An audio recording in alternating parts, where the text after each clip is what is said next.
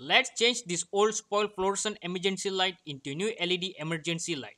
Let's get started. First, turn off the electric supply, remove the light cover and the fluorescent light, then disconnect the light wire from the emergency light terminal. Unscrew the emergency light metal cover and remove it from the ceiling. Next, use test pen to open the new LED emergency light cover and unscrew the emergency light board. Make a 20 mm hole at the back of the new emergency light cover. Insert the light wire into the emergency light hole and position the light in straight and screw it on the ceiling. Connect the light wire to the new emergency light terminal. Close back the emergency light board and screw it tightly. Close the emergency light cover and turn on the electric supply. The red indication light is glowing means the emergency light battery is charging. After 2 hours of full charge to test the emergency light, turn off the electric supply. Now the LED emergency light is working. Then turn on the electric supply, the emergency light back to charging. Thanks for watching. Don't forget to like, share and follow this channel for more interesting electrical content videos.